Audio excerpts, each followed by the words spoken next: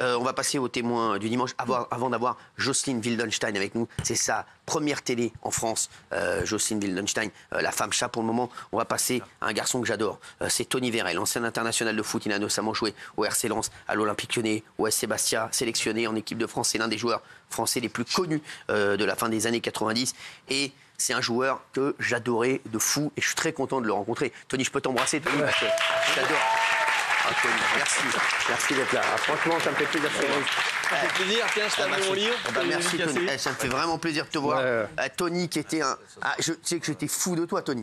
Non mais je te jure que tu étais, vraiment un de mes joueurs préférés, mais vraiment de loin, j'a- j'adorais Tony. Euh, et je suis très content de te voir. En tout cas, eh, t'es- en tout cas, t'es en forme. Je te trouve euh, bien. Bah, on- il faut. Parce que normalement, tu sais, on dit mon souvent, euh, parce que des fois, moi, j'ai toujours peur d'avoir le, le corps d'un ancien footballeur, parce que vous êtes très beau. Et toi, t'as gardé le corps d'un footballeur. Non, non, on mais essaye de s'entretenir et surtout de- d'avancer. Parce que c'est pas toujours facile, mais c'est Je comme sais. ça, on va pas se plaindre. La dernière fois, j'entendais Raymond euh, dans une émission dire euh, on n'a pas le droit. C'était là. Ah, bien Ouais, sûr. ouais, on n'a pas le droit Bien dans sûr. la dépression, même si des fois c'est compliqué. Mais toi, Et, c'est euh, toi, c'est une histoire de foot, ton histoire. Et c'est vrai que un. Moi, j'ai t'adoré en dehors du terrain et sur le terrain.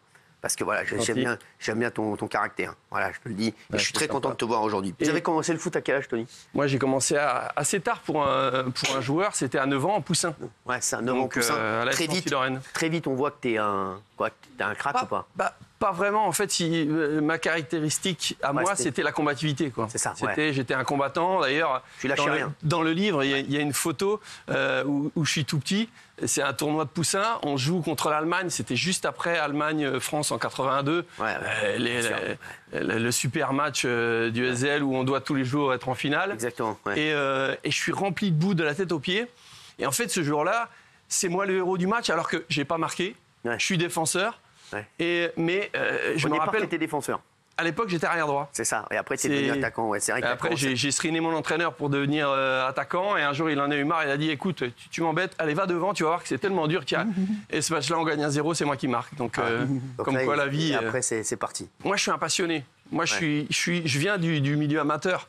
Mon père s'occupait de. Pendant 20 ans, il a été euh, entraîneur, président d'un club. On vivait tous les week-ends euh, à travers le foot.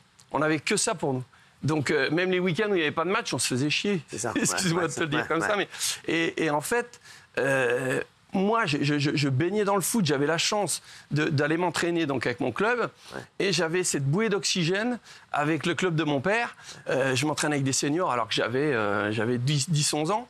Et, euh, et dans les vestiaires, c'était voilà, c'était c'était la camaraderie, c'était euh, l'échange.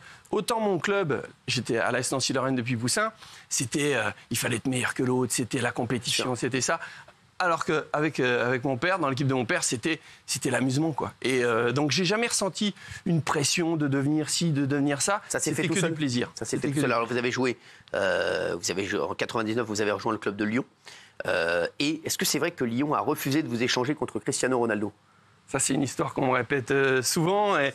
Elle est anecdoti- anecdotique, mais, mais elle est sympa parce que bon, quand on sait ce que, ce qu'est devenu Ouais, Ronaldo, en fait, c'est, l'entraîneur qui était au Sporting de Lisbonne à l'époque était un, un entraîneur que j'avais eu à, à l'AS Nancy-Lorraine. Et euh, moi, ça se passait plus ou moins bien avec, avec Lyon. Donc, euh, il m'appelle en me disant Écoute, euh, est-ce que tu veux pas venir Euh, Par contre, nous, on n'a pas d'argent à donner au club. Et, et Lyon, il me restait un an de contrat, donc eux, ils voulaient de l'argent, quoi. Et il me dit Par contre, on, a- on- on aimerait bien t'échanger contre deux joueurs. Ouais. Et quand il m'a cité le nom de Ronaldo, moi, à l'époque, c'était Ronaldo, le Ah oui, le Brésilien. Ouais. Je, dis, je lui dis en rigolant On veut m'échanger contre Ronaldo En, en fait, en le- bien sûr. Et en fait, c'était encore en plus. fait, c'était. Cristiano. Cristiano Ronaldo. Cristiano qui deviendra l'immense joueur qu'il est devenu. Ah, bien et, sûr.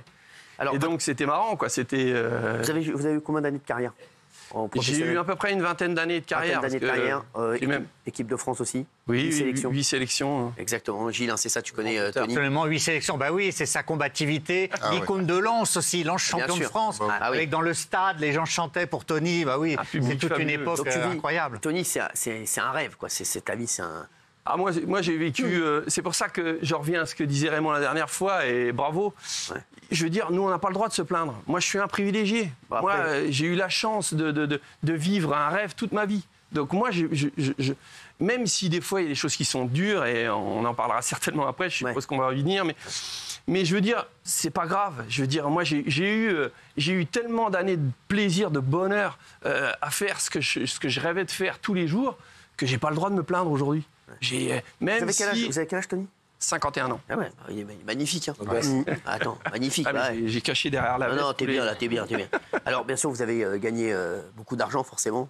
J'ai eu la chance de gagner Ah oui. euh, Ah beaucoup d'argent puisque c'était juste après la Coupe du Monde. Enfin, c'est là que les salaires ont explosé. C'est Ah, devenu, ouais. c'est devenu même aujourd'hui, c'est devenu quasiment indécent, quoi. Je veux dire, et c'est pour ça que je peux comprendre certaines fois. Moi, je suis un ancien footballeur, donc je critiquerai jamais les mes, coéquipiers ou mes collègues. Mais c'est vrai que des fois, quand on voit certains salaires, et j'en ai fait partie, donc je Ah, bien ne vais sûr. pas euh, cracher dans la Sans, sans indiscrétion, euh, vous, vous- à, à- à votre prime. euh, 120 000 euros. Combien? 120 000 euros par mois? 120 000 euros. En fait, quand je suis arrivé Bah, à Lyon, Franchement, c'est comme un influenceur. Donc, euh, euh, vous étiez l'attaquant de vedette euh, de, de, de, de Lens. Euh, donc, C'est- C'est 35-40 buts par saison. Ah oui, hein. je sais, C'est non, mais attends, dire énorme, c'est eh, un- peu moins, t'es gentil Raymond. Non, mais- non, t'en mets- mais- eh, tu veux que je te dise? Non, Je t'en mets à 45, c'est pour moi, c'est. À Nancy, à Lens, c'est ce que tu mettais par saison. Oui, en fait, comme j'ai toujours dit, si je devais refaire la même carrière que j'ai fait en gagnant le SMIG, ben, je re-signe tout de suite. Bah, bien sûr. Plutôt bah, que d'avoir un poste euh, euh, plus élevé, avec un salaire plus élevé, mais avec d'autres responsabilités, là, j'ai fait toute ma vie ce que, ce que j'adorais de faire. Donc, euh, Tommy, en 2011, euh, professionnellement, ça semble un peu plus compliqué pour vous, comme vous nous le dites, en 2011. Euh, vous vous retrouvez mêlé à une affaire de tentative d'assassinat. Euh, c'est vraiment c'est une histoire de fou. Moi, quand j'ai entendu l'histoire, euh, je pensais à vous, forcément, Tony, parce que voilà, vous étiez un- une de mes idoles. Donc forcément, je pensais à vous. C'est en 2011. C'est vous êtes avec l'un de vos frères, c'est ça? C'est en boîte de nuit? Non, en fait, ce qui s'est passé, c'est que j'étais dans mon lit à 3 h du matin. Ah, d'accord. Donc aujourd'hui, les gens retiennent ce qu'ils ont entendu. La première fois, vous parliez d'Harry Roselmack, c'est, c'est- je suis passé euh, à une heure de gros- grande audience sur une chaîne euh, très populaire, enfin, moins, que- moins que vous, bien sûr. Mais si, bah, si. Bah, si. Non, mais, mais euh, mais en fait, voilà, on a dit des choses qui n'étaient pas C'est vraies. quoi l'histoire? Parce que c'est l'histoire est folle. Bah, c'est c'est L'histoire de Tony, simple. elle est incroyable. Je suis dans mon lit à 3 h du matin, je reçois un coup de fil et mon petit frère paniqué qui me dit je me suis fait rouer de coups. euh, voilà, enfin il le dit pas aussi calmement que moi. Et, euh, en fait, ben, vous sortez de votre lit, vous êtes complètement paniqué. euh, Qu'est-ce qui se passe? Donc il me dit je suis dans, un- dans, dans une, boîte de nuit sur le parking et le parking de cette boîte de nuit est à 900 mètres de chez moi, à 900 mètres à vol d'oiseau. Donc qu'est-ce que je fais? Je prends ma voiture et je fonce. Sauf que ça se passera pas, euh, ça se passera pas aussi bien que je l'aurais voulu. Euh, je l'ai dit ça. euh, quand... C'est quoi Qu'est-ce qui s'est passé avec votre frère En fait, euh, mes Ah, frères se sont. Allez-y. Ils sont- il y a deux des frères. Les, les Vérel, c'est une fratrie très soudée. Ouais. Il y a deux des frères qui sont en boîte Vous êtes de combien de nuit. frères? Vous êtes combien de frères? Ouais, Six frères et une sœur. d'accord, Pas oublier ouais. la sœur. D'accord. Donc il y a deux jeunes frères qui sont en boîte de nuit et apparemment, parce que les versions sont différentes, mais ça se passe mal avec trois vigiles qui les, qui les frappent. Donc ils se retrouvent sur les le parking. Voilà. Ils les massacrent. Ils les massacrent, voilà. Ils sont sont- fait. Ah, vraiment massacre. Surtout, surtout, un, surtout de mes petits frères. Oui. Genre, vraiment, ouais, vous- quand vous arrivez, vous le voyez en son. Oui, en fait, termine Gilles, mais. Vas-y, vas-y. Donc à ce moment-là, ils sont sur le parking, ils appellent d'autres frères qui arrivent. Et là, il y a sur le parking, altercation, coup de feu. Et ça va être notamment Tony Vérel qui va être ju- jugé responsable de ces coups de feu et qui va être effectivement mis en examen pour tentative d'assassinat avec ses frères, incarcéré en prison à Metz. oui. Et à ce moment-là, on est le 25 octobre 2011, il risque la perpétuité. Exactement. Voilà, ouais, je sais. Donc Oui. l'affaire. Vous êtes condamné à 5 ans de prison, dont 3 ans ferme. Non, parce qu'on ça a fait appel. C'est ça, fait justement, appel. au départ, au Au départ, départ, au départ, oui. voilà. Quand on passe, euh, enfin, on- ça nous tombe dessus. euh, je veux dire, le, le procès s'était relativement bien passé. Je veux dire, on, a- on avait quand même démontré, mes avocats. euh, Et il y a eu quoi? Est-ce qu'il y a eu des, des- des- des blessés? Il y a eu des. Ah oui, il y a eu des blessés. Oui, il y a eu trois blessés, Il y a eu Trois blessés, blessés, il y a eu trois exactement. blessés, En fait, c'est ça, c'est ça. ouais. Oui, vraiment, c'était une affaire euh, d'importance majeure. Mais bien sûr, euh, elle a été annoncée, comme le, dit Gilles. euh, je veux dire, à un moment donné, tu es, en t'es en prison, tu es incarcéré, et tu entends à la télé, Tony Vérel risque, la- et ses frères risquent la perpétuité. Donc à un moment donné, tu te dis, mais. Parce que moi, le jour où je suis rentré en prison, je me suis dit, je me rappellerai toujours de ce moment-là. Euh, tu rencontres le, le responsable de l'étage et il te dit Bon, vous avez 10 jours à faire au, quartier arrivant, après vous irez dans le grand quartier, tout ça. Mais dans ma tête, j'ai envie de lui dire Mais qu'est-ce que tu me parles de 10 jours? Dans 3 jours, je suis dehors, moi. Quand vous êtes sûr d'être innocent, vous ne pouvez pas imaginer une seule seconde que vous allez rester.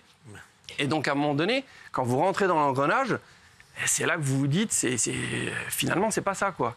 Vous discutez avec d'autres, parce qu'au départ, au départ j'ai, j'avais pas envie de discuter. Je sais pas qui, avec qui je discute. Est-ce que c'est. Vous étiez avec quelqu'un dans la cellule étiez avec un... J'étais avec quelqu'un dans la cellule, mais bon, je parlais pas beaucoup. Je, je sortais, je, quand je- j'allais euh, en promenade, je courais pour justement m'évader un petit peu. Pour, euh, et, euh, et puis après, bah voilà, après à un moment donné, bah, on commence à, se- à- à se dire, bah, ça va pas être aussi rapide que je pense. Il va falloir vraiment. Vous êtes resté euh, combien de temps en prison? Cinq mois. Cinq mois, d'accord. Cinq mois. Comment vous le vivez? C'est énorme. Quand on n'a pas le choix, on le vit. Euh, on, on le disait tout à l'heure, c'est exactement la même chose que disait Raymond. Euh, on est là, on, on vit les choses. euh, on est obligé, on est obligé d'être fort d'ailleurs. Les, les seules choses que qu'on a pu me dire, les, les bons conseils qu'on a pu me donner en prison, c'est surtout quand tu vas au parloir, ne montre pas. Ne montre pas, même si, même si des- tu peux avoir des moments où t'es pas bien, Ouais. tu essayes de pas le montrer à personne, encore moins en prison, Bien sûr. mais surtout pas à ta famille. Et, et ce qui fait le plus mal, enfin, ce qui, moi, ce qui m'a vraiment euh, détruit, c'est les dommages collatéraux. Euh, mon, mon papa, qui, est- qui est parti aujourd'hui et, et qui, qui n'a pas pu voir son, en- son enfant se faire juger, enfin ses enfants. Et, euh, et donc ça, c'est terrible. C'est terrible parce que finalement, bon, la justice est ce qu'elle est? Je la respecte. Je suis un, enfant de la France. J'ai eu la chance de porter le maillot. Je respecterai jusqu'au bout les décisions. Mais il y a eu une erreur judiciaire. Qu'est-ce qui s'est passé alors en fait? Qu'est-ce qui s'est passé? Il y a eu des coups de feu ce jour-là. Mais qui, qui coups avait de des feu. qui avait... Mais je sais pas. Moi, j'étais sur le parking. On a entendu les coups de feu, donc on, on les a jamais niés. En fait, Mais ça, mais- venait- ça venait pas de vous les coups de feu? Parce que il est euh, au départ. Donc c'était pas. Bien pas sûr, de- vous- euh, Tony, vous ou, ou vos frères ou tout le monde, vous étiez armés. non, non, non, justement. vous ne voulez pas. Ah non, mais c'est pas que je veux ça. pas. Aujourd'hui, Gilles, si tu as fait ton travail, je peux même te donner la procédure au complet. J'aurai le droit aujourd'hui. Tu verras, il n'y a pas d'armes, il n'y a pas de. Les, les vidéosurveillance, la, la- la- la caméra de vidéosurveillance qui aurait pu nous innocenter, les tamponnages qu'on ne nous a pas fait. Je veux dire, c'est tous des éléments quand même qui sont choquants aujourd'hui. Je veux dire, je ne suis pas là pour polémiquer sur la justice. Bien au contraire, je la respecte aujourd'hui. Mais à un moment donné, quand tu es là, on t'accuse d'avoir tiré des coups de feu. Ok, je veux bien. Si j'avais tiré des coups de feu, je ne serais pas en train de vous dire je suis innocent, je serais en train de vous dire je l'ai fait, mais pour ces raisons-là. D'ailleurs, si j'avais su le traitement que mes petits frères ils ont eu en prison, je vous dis pas que la colère ne s'est pas montée en moi. Mais j'avais aucune raison d'être en colère quand je suis allé sur le parking. Je savais même pas ce qui s'est passé. Pourquoi j'aurais pris une arme? Et je, suis- je suis quand même, un- entre guillemets, un peu connu. Ouais. Je veux dire, je vais, me, je vais me présenter sur un parking de boîte de nuit, à visage découvert, comme ça, et je vais faire le cow-boy? Non, c'est pas possible. Les gens qui me connaissent et les, et les gens, euh, je veux dire, euh, ils, ils se disent c'est pas possible. La vidéosurveillance, Cyril, qui disparaît. Je veux dire, est-ce que c'est Tony Vérel et ses frères qui ont pu, je veux dire, prendre la caméra, enfin la, la vidéo sur surveillance, prendre la cassette avez- et, la, et la changer? Vous savez ce qu'il y avait sur, Ça, le, sur les, les bandes? Ça s'est soldé comment le. Alors ça s'est soldé, ça vient de se solder là. Exactement, oui. Parce qu'il y a eu donc un jugement en appel qui a réduit la peine, Bien sûr. euh, 18 mois de prison, Mmh. et vous êtes pourvu en cassation, et là, vous avez perdu en cassation. Mais en appel, c'est 18 mois aménageables, interdiction de port d'armes pendant 5 ans, et 18 mois aménageables, ça veut dire que voilà, il n'y aura pas de, il y a pas de prison. C'est ça, Mais la justice a considéré que la responsabilité était amoindrie, mais ne vous a pas quand même donné quitus de l'ensemble. Non, c'est pour ça que je critiquerai pas aujourd'hui la justice, mais elle n'a pas été au bout des choses. C'était soit j'étais coupable, ou soit j'étais innocent. À un moment donné, si vous regardez le, le verdict, j'ai- croisé tous les gens que je crois aujourd'hui dans la rue me disent Anthony, tu as gagné ton procès.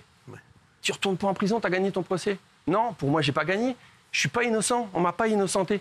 Mais aux yeux des gens, et, les gens m'ont dit mais si, tu avais fait ce pourquoi on t'accuse, c'est pas, pas 18 mois de prison que tu prends, c'est, c'est, c'est 10 ans, 20 ans. Donc à un moment donné, je vais pas me plaindre. Je vais pas dire non, non, mais je. Non. Aujourd'hui, jusqu'à la fin de ma vie, je clamerai mon innocence. Mais c'est comme ça, je respecte les institutions, je suis français, j'ai, été fier de porter ce maillot. La seule chose qui me fait mal, c'est qu'en fait, moi, à la limite, c'est normal. J'ai eu cette notoriété. Cette notoriété m'a apporté, comme à tous, des avantages. On le sait. Euh, ça fait plaisir hein, d'être reconnu, de faire des autographes. Mais c'est mes frères. Mes frères qui ont souffert pour rien. Mon petit frère, on en parlait, mon petit frère de 20 ans, il, il, son grand frère, qui a 10 ans de plus que lui, pour aller fêter ses 20 ans qui sont allés à 3-4 jours près. Il va en boîte de nuit, il se retrouve, il boit un verre, il voit son grand frère se faire frapper par un vigile. Qu'est-ce qu'il fait? Il va il, va porter main forte, il, va secourir son frère. Et oui, on a dit au procès, il l'a poussé. Non, il lui a mis un coup de poing, peut-être.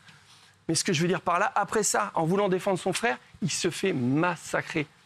Je veux dire, quand j'ai entendu au procès 15, 20 témoins expliquer la scène de mon petit frère qui, est coincé dans un angle parce qu'à un moment donné, il se sauve. Parce que quand il est venu euh, frapper le, vigile pour aider son grand frère, bien sûr, toute la boîte s'est mise contre eux parce que c'est tous. Bah, il y a beaucoup de, copains des, vigiles, tout ça. Et je critique pas les vigiles parce que mon père a été vigile à son époque et c'était pas le même vigile. Mais ce que je veux dire par là, c'est qu'à l'arrivée, il s'est retrouvé dans un coin, entend dire arrêtez, arrêtez. Et là, ils l'ont roué de coups avec des gants coqués, avec des, des, euh, des, chaussures de sécurité. Il était en position fétale, il s'est fait massacrer. Et ce pauvre jeune, il se retrouve en prison. Il n'a rien demandé à, personne, il se retrouve en prison. Il a le même traitement que, à la limite, moi, qui suis populaire. Moi, à la limite, qu'on me descende dans, les médias, c'est le jeu. C'est normal. Mais lui, je veux dire, aujourd'hui, il n'a même pas commencé sa vie. Il a 30 ans. Il, c'est ça qui me fait le plus mal. C'est la souffrance de, des, gens autour. Mon père, il est parti. mon père était protecteur. Mon père, il, aurait voulu. Vous vous rendez compte que dans cette affaire, à un moment donné, on a même dit c'était le père de Tony Vérel, la cinquième personne, parce que les vigiles ont dit qu'on était cinq sur le Depuis le début, ils disent qu'on est cinq, et on est quatre dans le box des accusés. Si on avait voulu se défendre et dire, ben nous, on est innocents, mais, mais on aurait dit comme les vigiles. Mais bien sûr qu'il y avait cinq personnes. Ils disent qu'il y avait un tireur embusqué. Mais bien sûr, mais on n'a jamais voulu mentir. Je ne vais pas inventer une personne que j'ai pas vue, moi. J'ai entendu des coups de feu. Quand on est arrivé sur le parking, on s'est fait gazer. Dès le départ, on s'est fait gazer. Ils n'ont pas cherché à discuter. Je veux dire, à un moment donné, ils disent qu'ils nous ont vu arriver depuis la vidéo, surveillance, la, boîte fermée. Ils disent qu'ils sont sortis avec des, des lacrymos, alors qu'ils nous ont vus soi-disant arriver avec des armes.